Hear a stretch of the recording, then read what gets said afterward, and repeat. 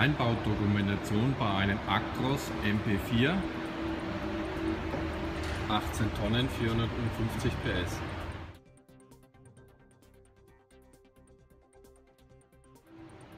Und unter der Bekleidung zu öffnen sind unten hier Schnappverschlüsse. Vorher sollte man die Abdeckung, Kunststoffabdeckung vom Fußboden noch wegheben. Und wenn man die zwei Öffnungen oben offen hat, ist es unten nur noch eingelegt. Des Weiteren ist die Abdeckung auf der Beifahrerseite an der Unterseite mit zwei Schrauben befestigt. Nach Entfernung der Blendleisten, die geklippt sind, lösen wir diese drei Schrauben. Hier weiterführend lösen wir diese Schraube, diese, diese und diese. Und um diese obere Abdeckung abzunehmen, lösen wir diese und diese Schraube. Um diese Abdeckung hier abzunehmen, klickt man einfach hier hoch. Links auf der Fahrerseite in der Front lösen wir weitere vier Schrauben, um die Abdeckung vorderhalb von Armaturenbrett zu entfernen. Um die Armaturenablage zu demontieren, gibt es jetzt hier eine, zwei, drei, vier Schrauben, die jetzt gelöst werden. Und dann auch die Abdeckung entnehmen.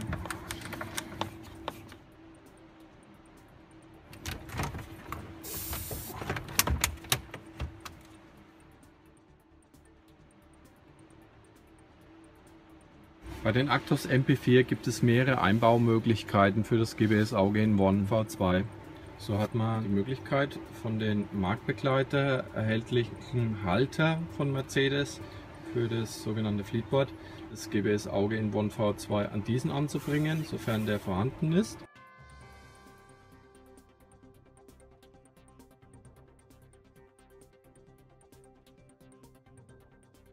Alternativ gibt es spezielle Halter von Arad.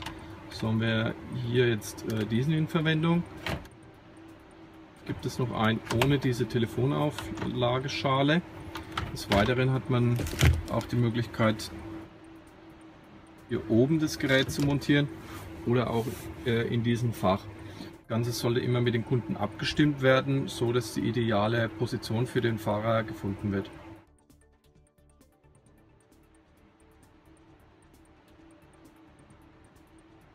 Zur einfachen Montage werden an dieser Stelle weitere Abdeckungen entfernt wie im Bild gezeigt.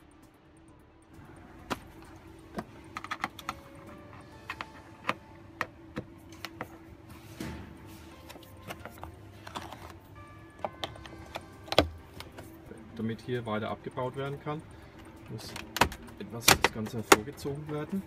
Und hier befindet sich jetzt eine weitere Schraube, die wir auflösen.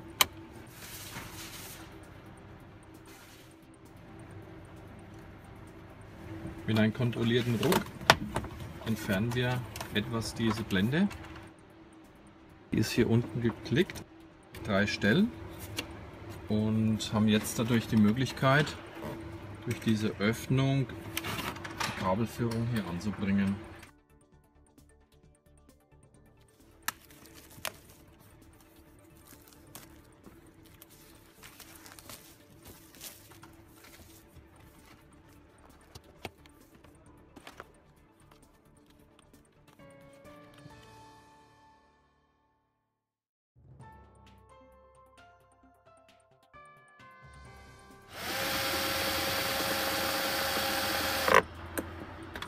Zur schöneren Durchführung nutzen wir jetzt so eine Gummidülle, um es hier von der Optik her zu verfeinern.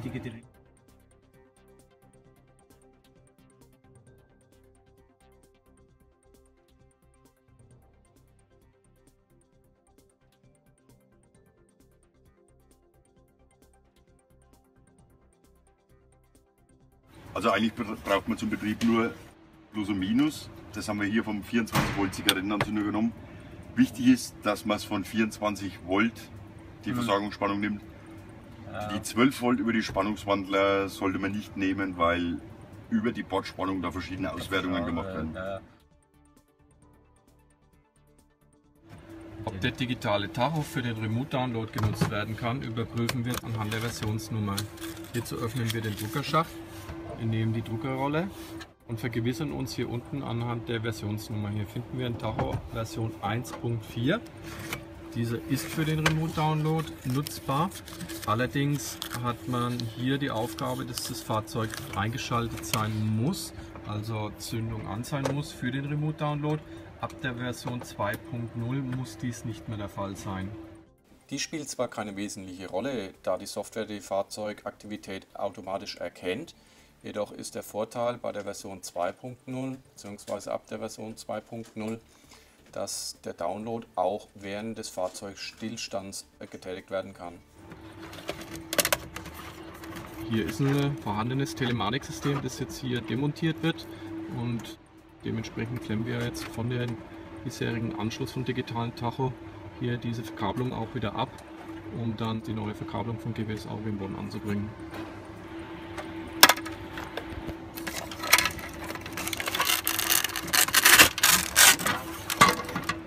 Da das vorhandene System bislang keinen Remote-Download für den digitalen Tacho tätigte, wurde auch die Kontaktierung hier zum digitalen Tacho entweder versehentlich oder bewusst so nicht gewählt, dass hier der Download getätigt werden kann.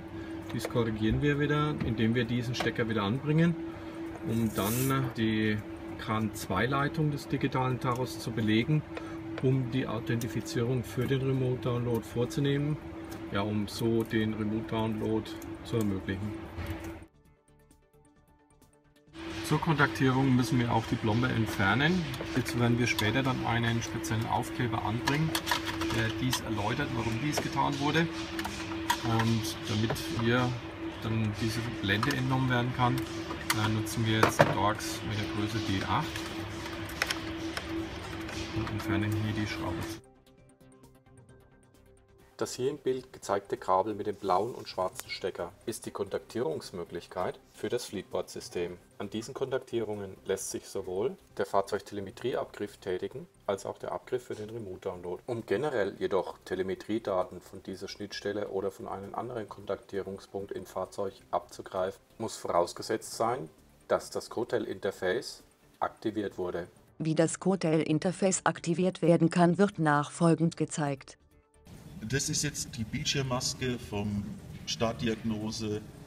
Ich muss theoretisch in das PSM-Modul reingehen und die Parameter suchen von der Telematikdienste. Deshalb Okay. gehe ich auf die Steuergeräteanpassung, die Parametrierung, allgemeiner Parametersatz,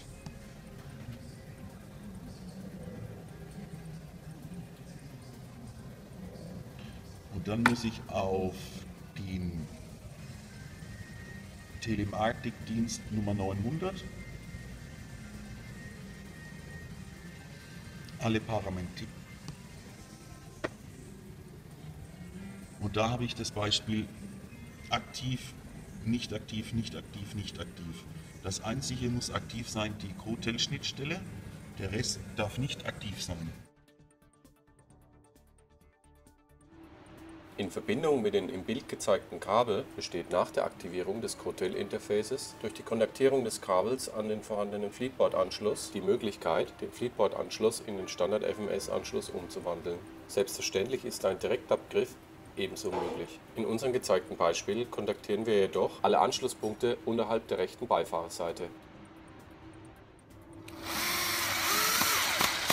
Da das GWS Auge in OneVR 2 über zwei Kontaktierungsanschlüsse zur Telemetrie-Kontaktierung verfügt, nutzen wir zunächst einen Anschluss zur induktiven Kontaktierung des Motor-CAN-Busses. Also das sind induktive Abnehmer für den CAN-Bus. Hier sind solche Vertiefungen, da wird das Kabel reingelegt. Ah, neigelegt. Ah, Hier. so, und dann über die Bahn. Ja, Kein hier, Low, kein High. da steht kein Low und High auf der Leiterplatte. Rot, rote LED heißt, dass es Strom hat und grüne LED heißt, dass es, Funktioniert. ja, dass es Kantaten bekommt. Das kann da. Das kann jetzt nicht grün leuchten, weil Hm, Nein, weil er nichts da ist. Und wenn es jetzt mal nicht grün leuchtet, also ist irgendwas faul dann. Wenn nicht, Zum Beispiel- Ne, das jetzt irgendwas zum Beispiel kann High und Low Ja, vertauscht. dass ich, wenn kein High, kein High und kein Low vertauscht habe, dann. Hm. Ja, du wickelst sie dann jetzt einfach nur ein bisschen auf. Ah. Wenn die Polarisierung von Can High, Can Low nicht bekannt ist, kann man mit einem ganz einfachen Trick das Ganze auch nochmal rausfinden.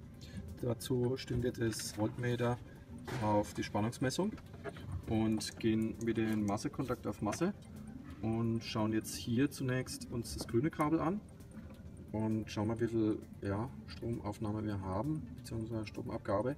2,3 Volt, da würde ich jetzt vermuten, dass das kein High ist. Wir gehen jetzt auf das blaue Kabel und schauen wie viel wir hier haben. Hier haben wir 2,8, okay, da habe ich mich jetzt vertan. Das heißt, dann ist das blaue kann High und das grüne kann Low. Also immer das Spannungshöhere ist es kann High.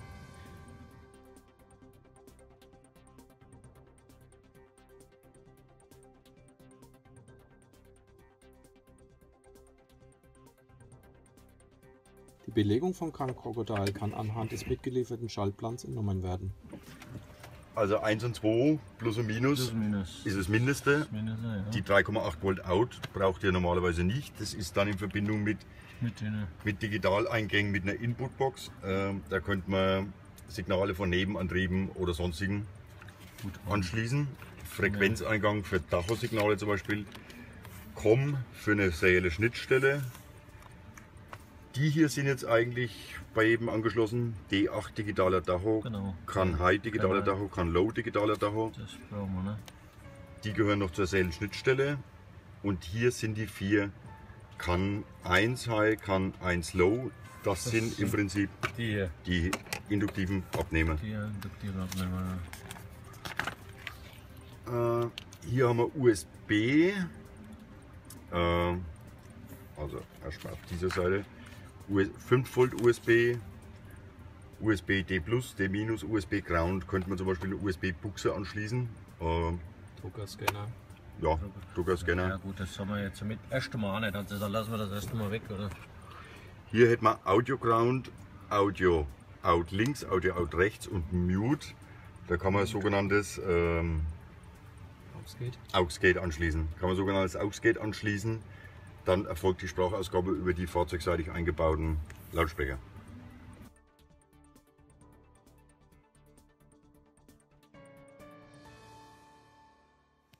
Der Halter, der hier genutzt wird von Arad, wird äh, hier vorne eingeklipst und zweimal hier oben verschraubt und findet so seine Fixierung.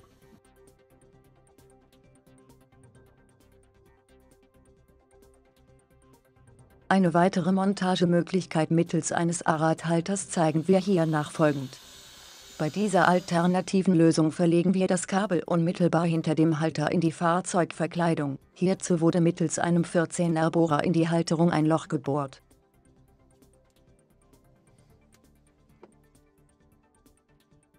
Das Kabel verlegen wir weiterführend in die dahinterliegende Öffnung.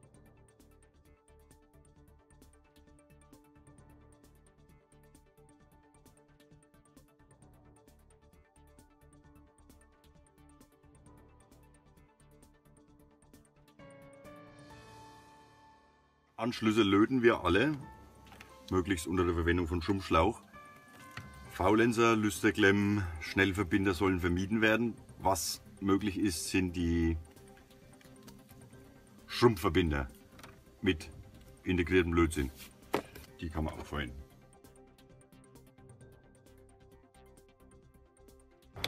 Zur stabileren Arretierung des Halters nutzen wir den Halter als Hebelwerkzeug, um die Aufnahmeschale fester zu fixieren. Die Kontaktierung für den Remote Download und den Abgriff der FMS-Schnittstelle bzw. der Telemetrie-Schnittstelle von Mercedes Haben wir bei diesem Einbau diesmal nicht hier oben vorgenommen, sondern äh, hier unten, was wir gleich auch zeigen werden, wo die genaue Position ist, sondern hier unten. Somit haben wir hier den digitalen Fadenschreiber an das violette und an das braun-weiße Kabel hier direkt angeschlossen.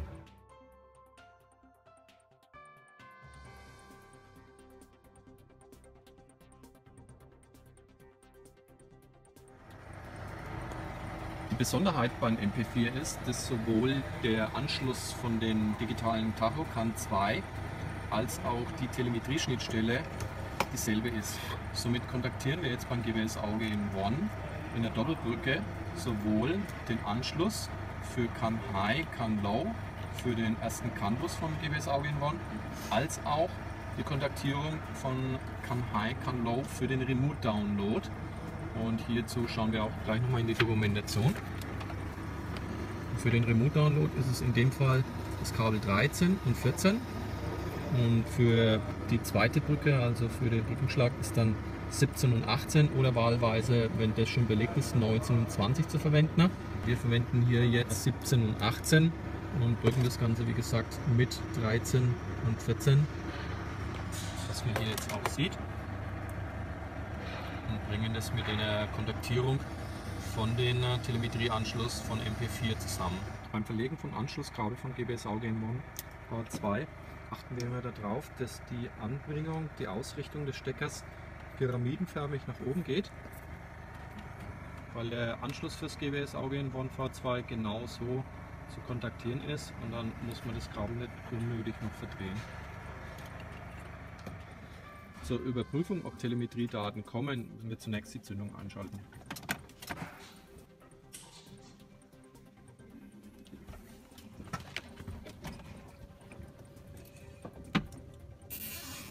Sofern das GBS Auge in One V2 dann Telemetriedaten erkennt, wird hier oben das Ganze per Symbol signalisiert.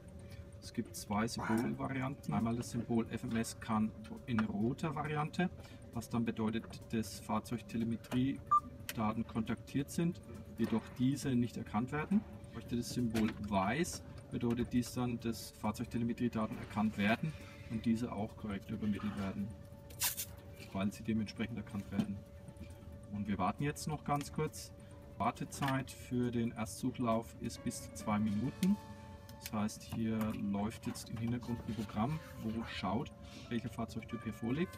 Sobald der Fahrzeugtyp erkannt ist, wird dann die Symbolik eingeblendet. Sollte man der Meinung sein, dass die Kontaktierung korrekt ist, jedoch die Anzeige nicht erscheint, gibt es noch die Möglichkeit, nochmals einen Reset auszulösen, einen Hardware-Reset. Das tun wir hier hinten. Gerät startet dann neu. Und hierdurch wird dann die Erstsuche erneut gestartet, ausgelöst. Und man beginnt somit nochmals von vorne, um gegebenenfalls im zweiten Anlauf dann das Fahrzeugmodell zu erkennen. Nachdem wir jetzt die zweite Kontaktierung vorgenommen haben, haben wir zunächst nochmal die Kontaktierung mittels den Kahn Crocodile dekontaktiert um nun zu überprüfen, ob auch über diesen Anschluss Daten kommen in der nächsten Variante, in der nächsten Softwaregeneration, die man dann natürlich auch per Fernupdate bekommt, äh, wird es dann so sein, dass dann jeweils separat signalisiert wird, ob von Campus 1 oder Campus 2 Daten geliefert werden. Da dies momentan noch nicht vorhanden ist, haben wir jetzt eben einfach nochmal abgewartet, sehen, wie das Signal jetzt gerade ankommt und wissen somit auch, dass hier jetzt auch Telemetriedaten vorhanden sind.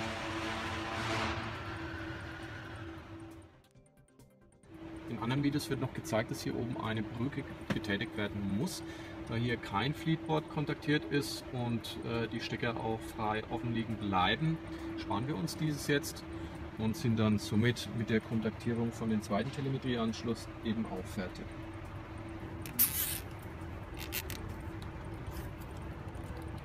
Um auszuschließen, dass der Anschluss von den Kernkrokodilen nochmals aufgeht, haben wir hier jetzt nochmal zusätzlich einen Kabelbinder angebracht.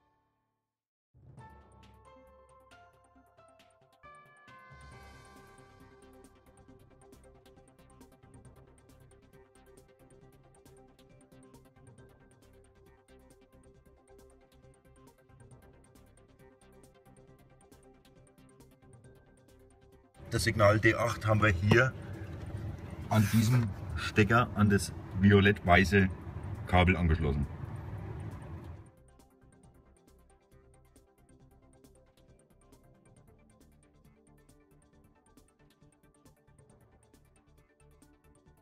Bei älteren Modellen ist es ein weißer Stecker, die D8-Schnittstelle hier unten im Sicherungskasten.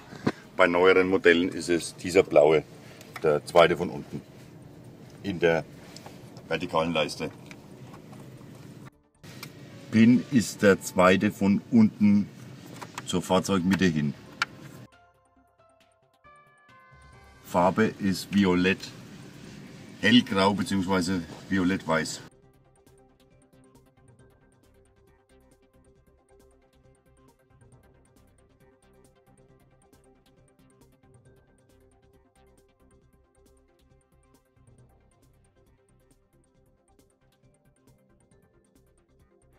Anbringung von GBS Auge in Bonn sollte man am besten eine zusätzliche Zange verwenden. Legt die dann hier an und drückt dann sehr fest. Und jetzt hat man gehört, wie es eingerastet ist. Also der Einrastpunkt ist sehr, sehr hoch, sehr schwer. Das ist aber absichtlich so, weil man dadurch jegliche Vibration unterbrechen möchte, also dass hier keinerlei Vibrationen stattfinden. Das GBS Auge in One V2 hat einen Trägheitssensor integriert, was zur Fahrstillanalyse genutzt werden kann und dementsprechend möchte man, dass da auch wirklich das Gerät satt aufsitzt. Hier hinten sehen wir jetzt, wie der Strich hier in der Flucht in etwa verschwindet. Somit weiß man, wann das Gerät verschlossen ist oder auch durch den, dass die Fahrgasstecker hier unten, dass die dann mittig sitzen. Und ja, und man hat ja auch gehört, wie es geknackt hat und es sitzt richtig fest, sitzt jetzt satt auf.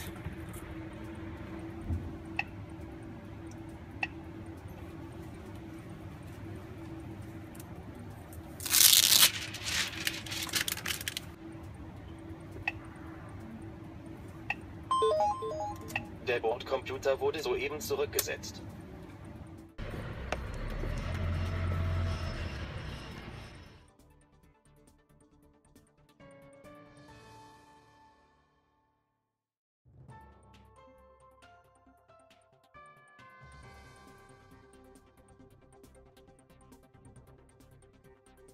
Hier sieht man jetzt nochmal, wie wir das Kabel verstaut haben hier hinten dran. Da wäre jetzt darauf zu achten, dass man unterhalb des Lüftungsschachts das Kabel verlegt, so dass es da nicht blockiert. Und jetzt auch genügend Platz.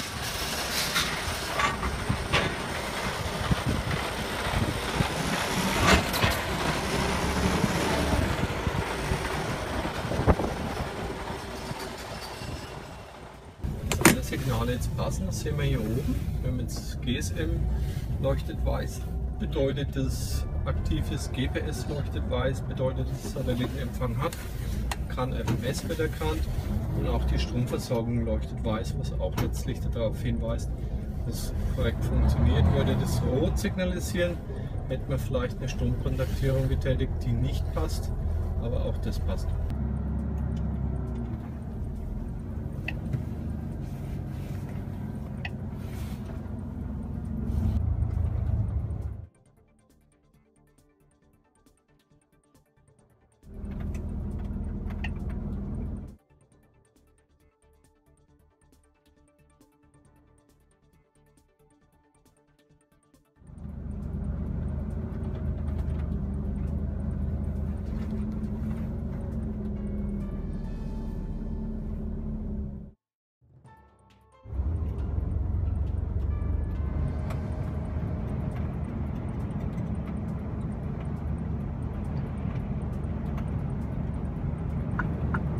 Nach korrekter Installation werden Telemetriedaten unmittelbar im GPS Explorer angezeigt. Hier im Bild beispielsweise der Kilometerstand, die bisherigen Betriebsstunden und der Tankfüllstand. Wichtig ist eben für die Statistik zu jedem Fahrzeug auch die exakte Tankgröße zu hinterlegen, dass die Statistikwerte bezüglich Betankungen in Liter ausgewiesen werden und nicht nur in Prozent.